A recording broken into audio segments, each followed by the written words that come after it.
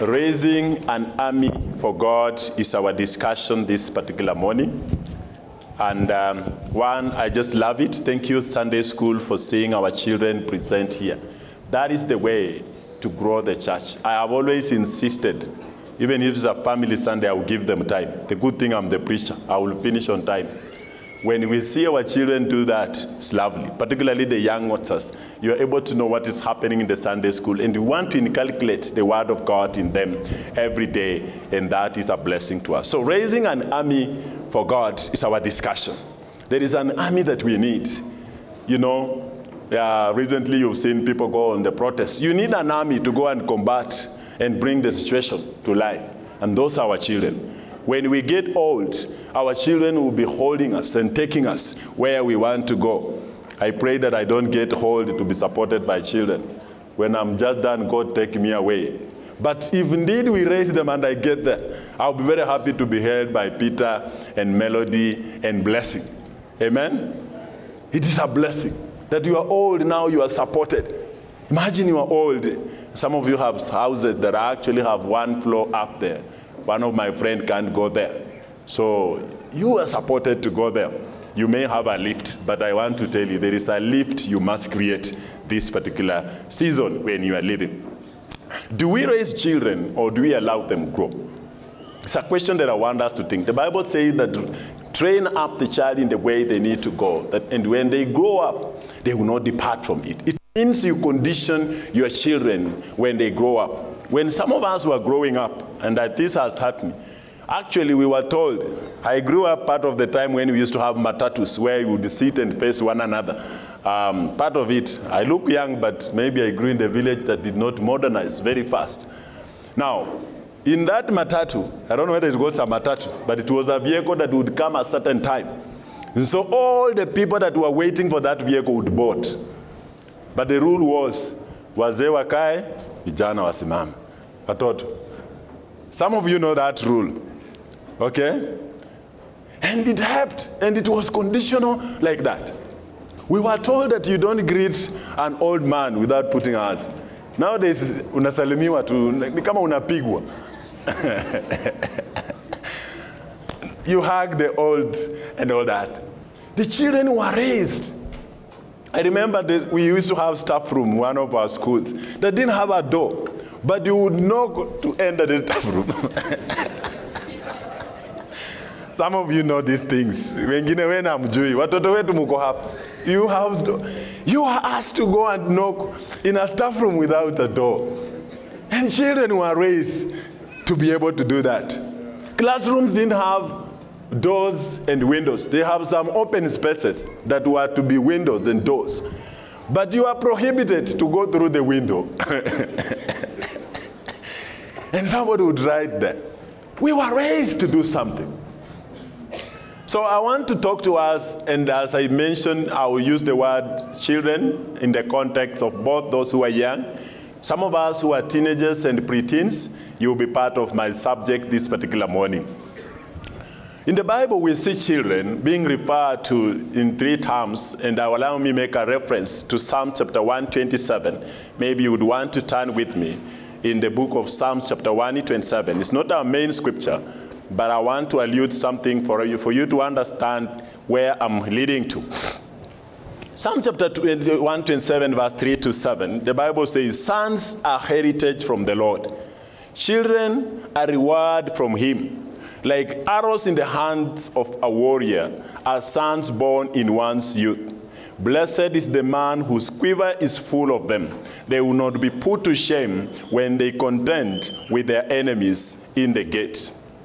In this passage, I see the author of Psalms saying that children are gifts. So if you don't have children, please feel comfortable that children are gifts. You know, you can choose to gift me or not because you don't demand gifts. It's very sad for you to demand gifts. Nowadays, even our lovely girlfriends and friends on Valentine, they demand. It's not asked. They are gifts. So God gives you children. Are we together? Get me right there. Children are inheritance. When you understand that, you'll be with me.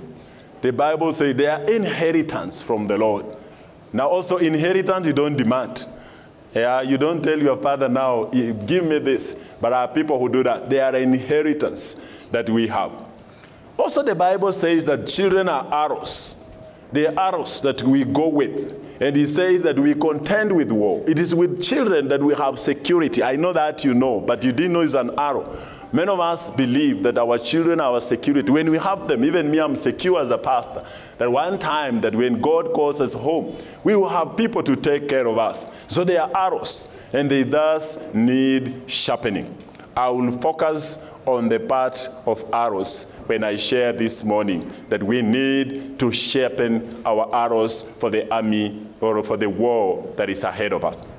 And so go, let's go to the main text in 1 Samuel chapter 13, where I want to read a passage and then be able to make some three reflections, and then we'll be able to finish and go home. The Bible says these uh, words in 1 Samuel chapter 13, from verse 16 all the way to verse 22.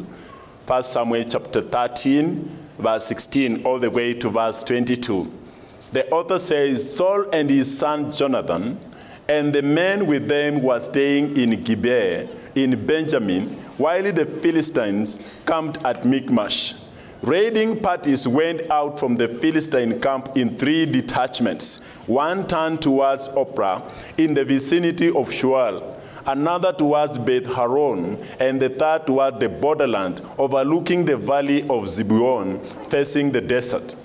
Not a blacksmith could be found in the whole land of Israel, because the Philistine had said, otherwise the Hebrews will make swords or spears. So all Israel went down to Philistine to have their plowshares, mattocks, axes, and sickles sharpened.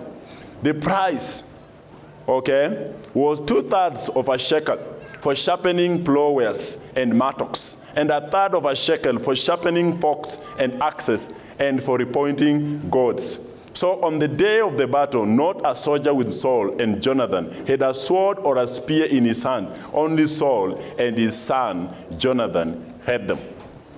The basic exposition of this passage, which I want to share, is that, you see, Israel was going to war with Philistine, and the Philistine encamped around them.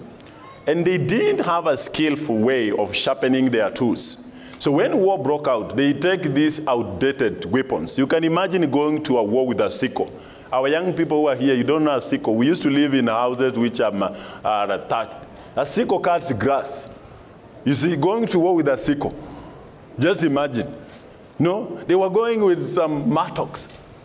When the other guys had made very sophisticated weapons. And then when they realized the war was going to be very dangerous because they didn't have anything, even their sickles were not sharpened. So they went to ask that these weapons be sharpened. And they were charged heavy price, and they didn't actually accept. I want you to understand that context. That sometimes, and I should mention to us, that education of our children could be very expensive, and they are charging very expensive. And some of us are thinking of a cheaper way of raising our children. I'm telling you, you are going to cry because you are actually releasing your weapon instead of going to war. So in that context, they are just beaten hands down. You can imagine facing somebody with weapons and you have none. So in this context, we see that toward the end of Saul's reign, there is a mass uh, departure of Israel army, 600 men. I have not read that in verse 15. When Saul was finishing, when God rejected his leadership, actually a massive army and you know, in the old context, actually winning a war like this, which was ahead, meant actually a breakthrough. So if God was not for you, you lose the war. And that is how David actually wins against Goliath. So in this case, God is not with Saul. And then the Israel, the chosen, are actually just invaded in a quick way and they are defeated. And the raiders, who are the Philistines, in three companies, besiege Israel. They surround them in great number. You talk of three companies, it's a huge group of 600 because the army was grouped in three, 600, 600. They besiege Israel. Israel realized they are few in number. And now they also have no blacksmith. Their arrows were inferior to those of Philistine. I'm telling you, they were going to war with the sickle equivalent to going to the streets with a stone. But I know somebody killed a police officer with a stone. The Philistines charged very high price to sharpen the instrument, potentially that would be used against them. That is in verse 21. The Philistine had monopoly on the iron weapons. The enemy knew what to do. The way media has done it. By the way, understand this. We've been surrounded with many things. Some of us have very good screens the way we have, but you don't check what our children are watching. Now, everywhere you go, even in our phones, there's somebody that want to control the monopoly of what our children loves. Now, your children ask you, I want to watch, this, I don't know, I don't know, some few things in there. You need to be very careful. That is how the Philistine army had the monopoly on this. In this background, or a background of this, that in war, the number of warriors matter. Let no one cheat you. You could be sophisticated as many of us are. And God has helped us, some of us have good money.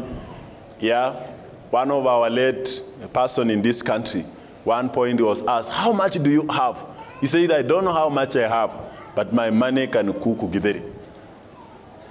But you know, it's not the money that can actually save us. The Israel and many people were known to be a people of God. So the quality of warriors matter. We need some blacksmith. And I want to reflect for many of us who are able to listen to Bishop Oginde's sermon, Where are the blacksmith? I read this and I thought I would share with us. I want us to ask ourselves how we are raising an. How are we raising our children every day? Today we have our children in the service. Bwana asifiwe sana children. Say amen. Children say amen. You are with us here. But I want us to introspect how we are producing them, how we are discipling them, how we are transforming them for God's glory to be in the presence of God. Are we willing to bring them? When many of us are asked even to bring them for cantata practice, ask them to go to this. Do we do it genuinely? This is the thing we're talking about. It is about sharpening them because it's very not easy for a child to come here. You saw those actions, even as adults. When you ask do this, I don't know what was divine. Some of you have forgotten, but the children come here. Out of shaping, they are able to do that. God naturally expects us to procreate. He calls us to actually produce the offspring. And he also calls us actually to subdue the same. The call to subdue the earth, which of Redmond is still welcome. We produce our children, which we've done faithfully, but are we doing the call of discipling our children? Amen? Are we doing that? Praise the Lord. Yes, I'm doing this because I'm looking for practice. I have some of my children there. They also need to be shaped to sit. I'm preaching. Children, I'm preaching. Please sit down.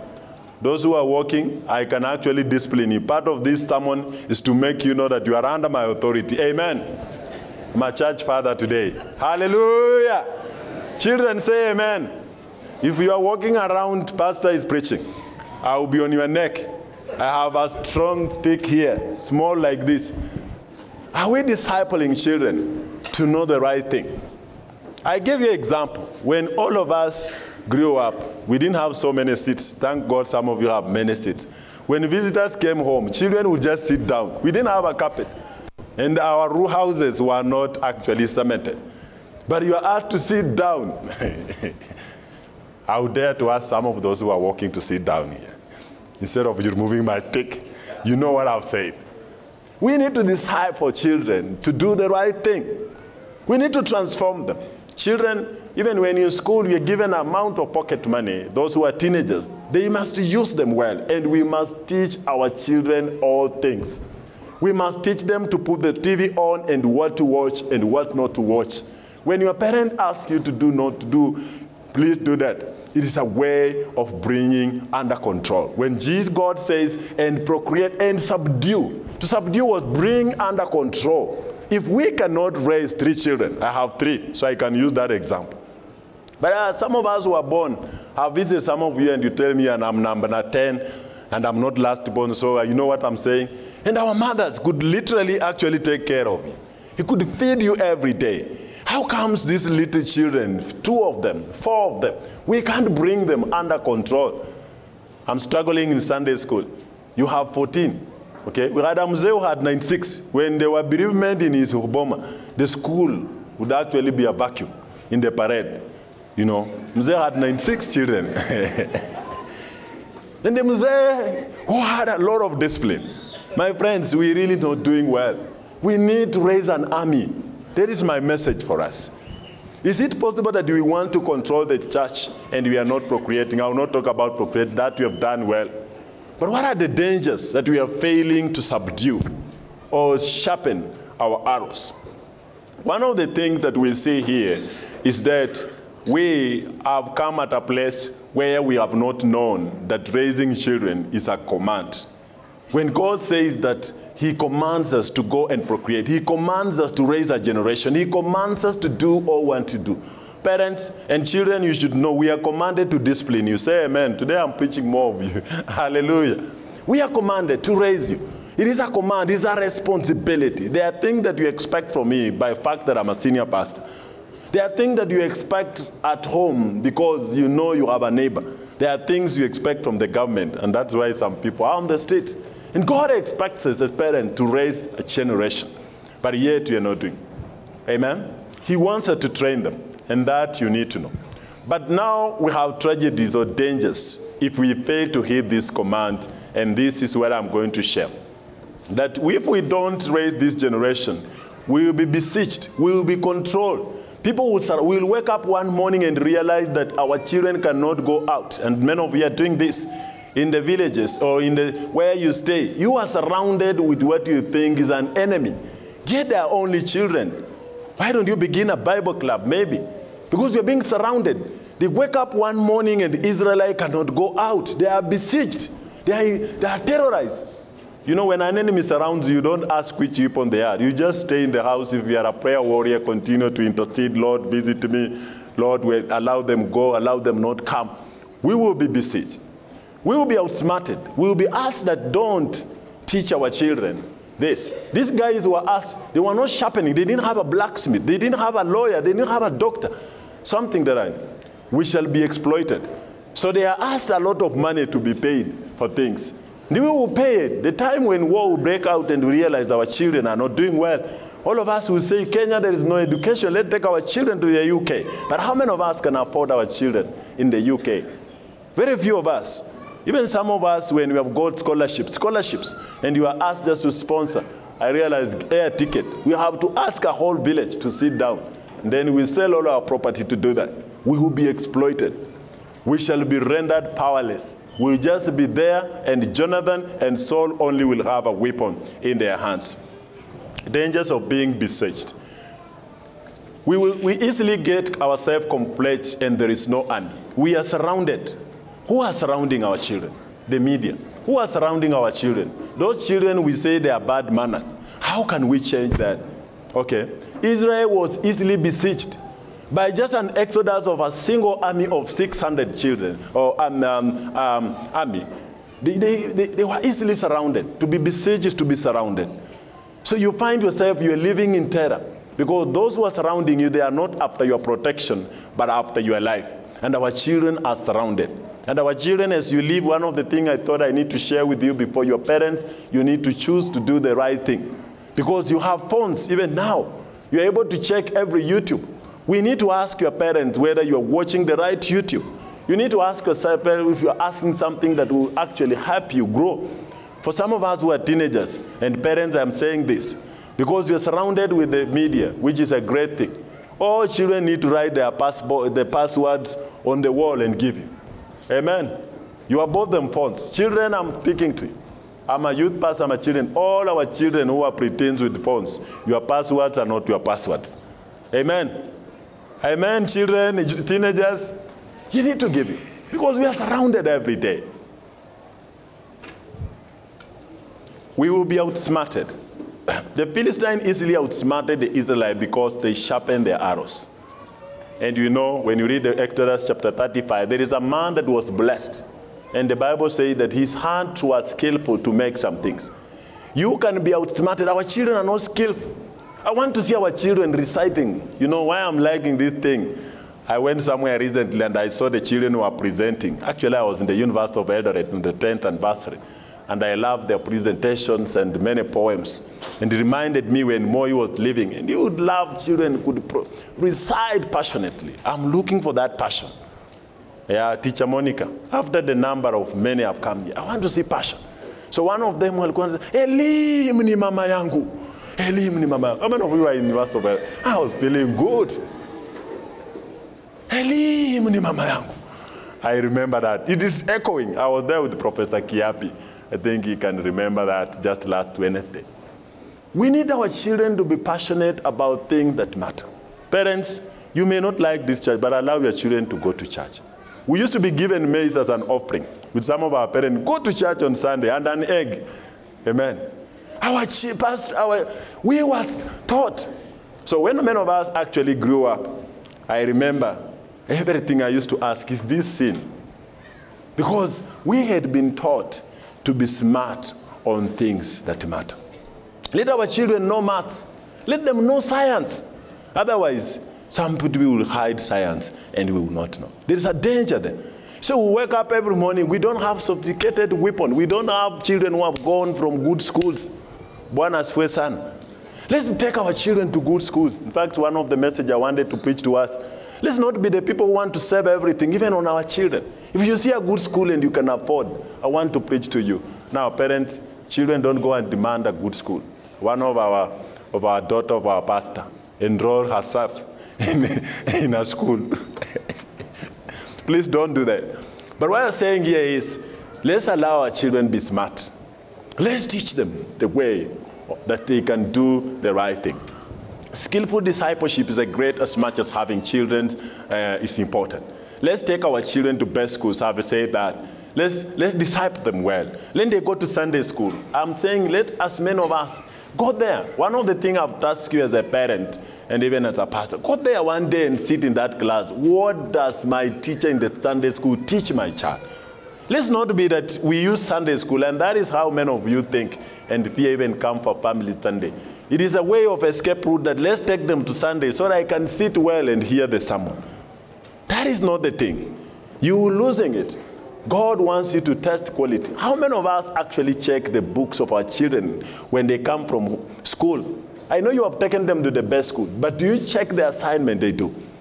You will be outsmarted. These people woke up one day and they realized that their tools are not sharp. We'll wake up one day and we realize our children cannot make any decision. I went with some of them in a camp and we were making chapati and some rice.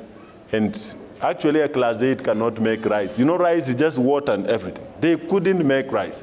Few attempted to make chapati, but it looked like the remains that remain after Ikuku. And the pastor look at this. But for me, I'm a love of chapati. The chapati should be soft. They should not be in any way black. They are actually from four levers. None of them. I collected and put in my booth and slippers and asked if you remain with something. None of them came. Their parents went and bought new ones. We are being outsmarted. Our children cannot wash their inner wealth. Praise the Lord, church. Am I speaking to you or you, you seem to have come to another continent? We need to teach them the ways of the Lord.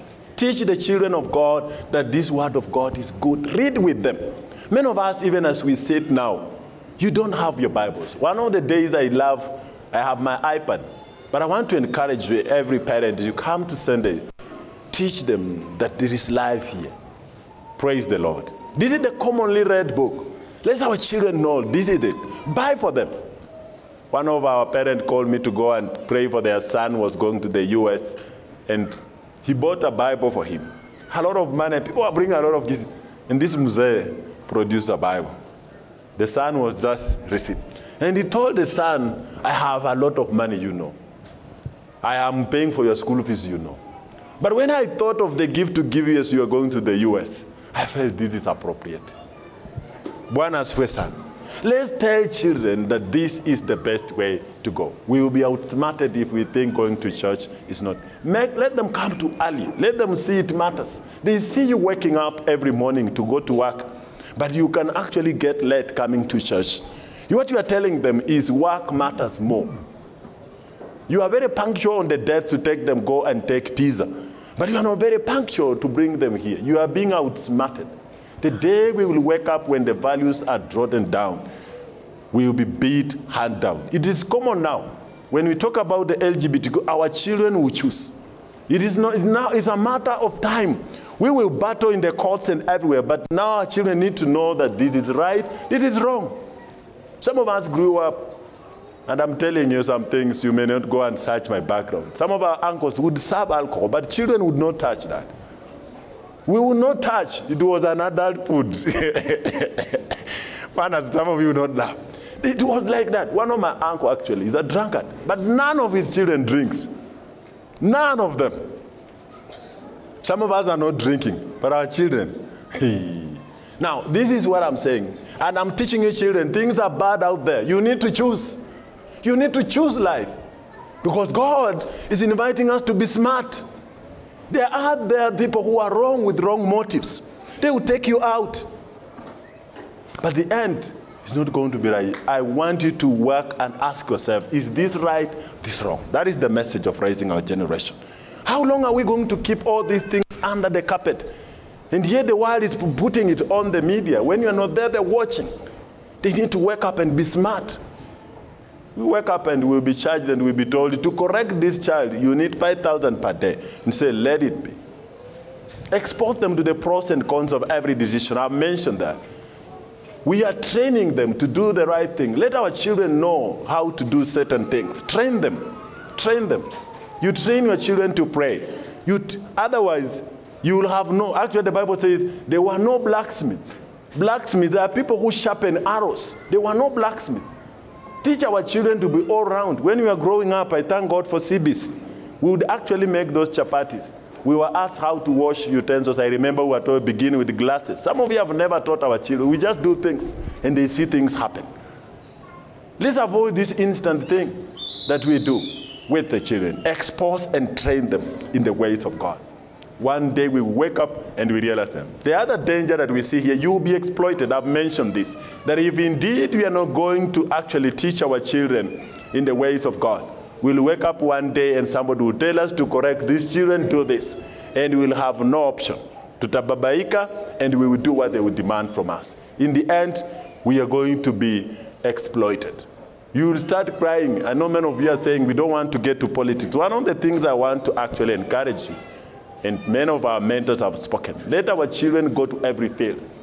Education is all neutral.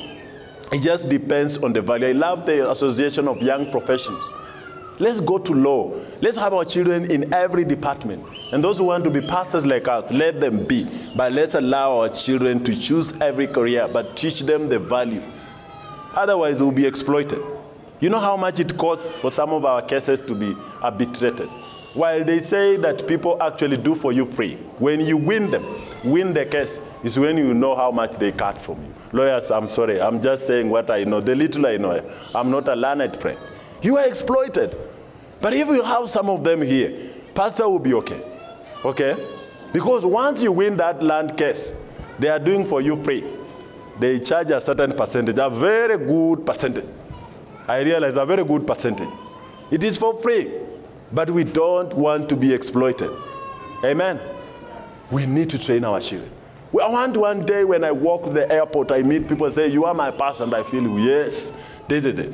Otherwise, we are going to pay heavy price. By the way, the Bible is silent whether the Israelites were able to sharpen their tools. When they were asked the price, they didn't have money. One, they just, in fact, the Bible ends there and it says, only Jonathan and Saul had the weapon. Where were the, the sickles that were going to be, uh, to be sharpened? We will end that place and say, We are surrendering in your arms. Do with us all you want us to do. Can our churches, homes, produce all that I've mentioned? It is possible. And children, let no one tell you. Dream any of the dreams you want to do. We want to see you so high. We can be anything. They say the sky is not the limit. When we were growing up, it was the limit. Now it's not the limit. I saw people land on the Mars. I'm hoping to get some few acres there. If they, you find what, praise the Lord. But that will call for many of us who are going to go to the aerospace science. And one day we are going to go in that place because they only, they say it is a little bit habitable to be on Mars. And I watch every day. They say, ah, people can settle there. I believe we can conquer the space. Amen. Otherwise, when the world will become bad here, maybe that will be our rescue center. But could Christian go there or only be those that don't know Christ? the last thing is that you will be powerless if you are not having the. You grow up and you realize there's no one to help you. You become powerless if you are a soldier or you're an army, but you don't have those to protect you. Our children is an army for us.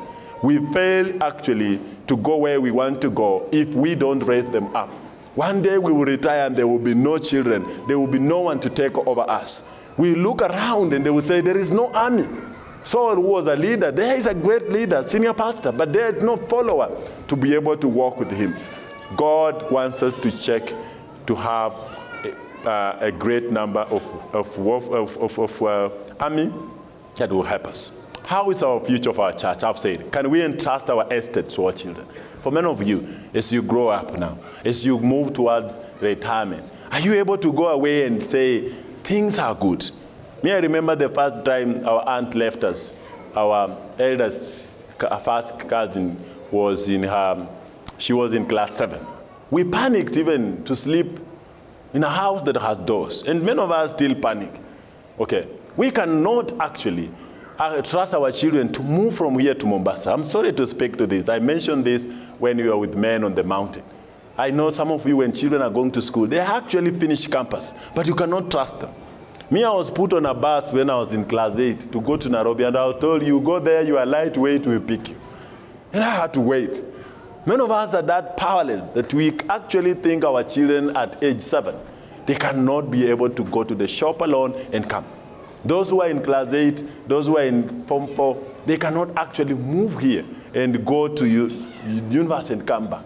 Let our children go by bus. A friend of mine who's a pastor was taking our children to school and the vehicle uh, did not function. They have only one family vehicle. So they chose both of them to use the matatu.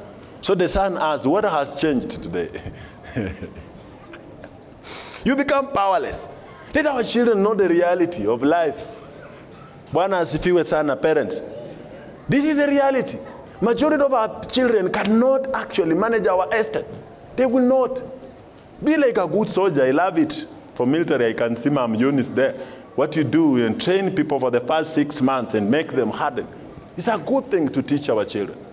We have said that even during fasting, if you're fasting, don't panic. Allow them and say you are fasting. I've ever done that for Peter for three days. And know Mama was almost finishing me. But this is it. Allow them also to. They won't die. Let me tell you. They won't die. Praise the Lord. Otherwise, we'll be powerless. We get at a place we don't have money, but we cannot even speak to our children and tell them, I don't have money for your school fees. We'll be powerless. And we will surrender to the enemy, and there will be done. We need the weapons. The weapons are our children. And our children need to understand what it calls them to be, to know what to do, even follow after us. Application. Where I've said, I said I will not talk about this. God is asking us to raise a generation biologically. If all of us will be Christian, our belief that you raise your children in the Christian way. On 16th, we'll be able to dedicate children here, that I'll bring them up in the ways of the Lord. That is very simple. Where we don't have, even us, the church, by the way, we allow adoption. You can adopt. For many of us who are asking for more children and you think have more power, let's entrain them, walk with them, and say, These are my children. That will be good. Those whose kids, with kids, please allow your children to get the best of education. It's my message. Raise them. Take them to the best of the church. Ensure them they access what is right. Let's not allow our children to grow up. Majority many of you just grew up, but the society was good. On the west, nakwambia ungepatikana unazunguka zunguka. No one would sell to you alcohol. So alcohol is sold to anyone. In fact, if some people realize that you are rich, they will entice your children together so that it becomes an income for them. Let's educate and disciple our children in the ways of God. Amen. Empower our children on mentorship program to shape their future. For many of us, actually, my call is that we can go for PPIs, Bible clubs, Sunday school discipleship, family devotions. We attempt, I'm a pastor, we attempt. I should confess to you that we don't do every day. If a pastor does this, I know what you people do. Amen. You are not like us. Amen. God wants us to raise our children. Otherwise, you do a reverse discipleship. One of my mentors doing reverse discipleship. When he went to preach and he preached for many years, he came back, the children were done. So he has come back with what we call reverse discipleship. The children have now grown. So eight, all of them in the table. You are out by eight, don't come. I'm telling you, it's hard to change actually such a kind of teenagers. God is inviting us to disciple our children and allow them to know the ways of God. Have a conversation about the post and trend. Walk with them. Fathers, walk with your son and tell them. I walk with my son every day and tell him, this neighbor drinks. You see, he lives well. He says no. Tell them. Don't think that one day these children will see the way you are saying. See some things and teach them. When you see people who are driving in a passed way, tell them as an example. And that will be able to help our children right. Because some of us have an assumption by the fact that I live in a good gated community. children will grow up well. We need to raise them, teach them every day. Tell them. In fact, one of the things we are thinking here is even this LGBT, sit with them and tell them God did not make any man to marry what? Another man. Tell them. Praise the Lord. Tell them about those things, and that will be good. I want to conclude and say this. Um, it will cost us to raise an army. It will cost us. And it will cost you more if you don't raise. Let's be ready to pay the cost now than. One of the things I love it in some of our communities, why we are asked to pay dowry in some communities to test their man's ability to be able to show the way of raising children. Are we together? So we were taught, even some of us when we were growing up, please find money so that you are able to raise a family. It will cost us something. Be ready to do that. Be sensitive on your call as a parent. You have a call, just like the senior pastor has a call. You have a call that I want to tell you. Genesis chapter 1, verse 28. God has called you to raise a generation, your children and are. So our discipleship is our first primary role before it comes to church. Let's raise an army, either biologically or by adoption and by discipleship. It is easy to make a child, somebody has said, and disciple them. But it is very difficult to repair men. By the way, for some of years I preach, the only article is to pray to accept the circumstances the way they are. It is difficult for me to change you. Some of your children are already gone. But imagine you can speak word to your grandchildren. Indeed, if you have some. The choice is ours. How are we going to parent? How are we going to disciple our children and our youth in the presence of God? I want us to pray this morning. I know we are guilty as church. Maybe some of us have tried to do well. But God is inviting us to raise an army.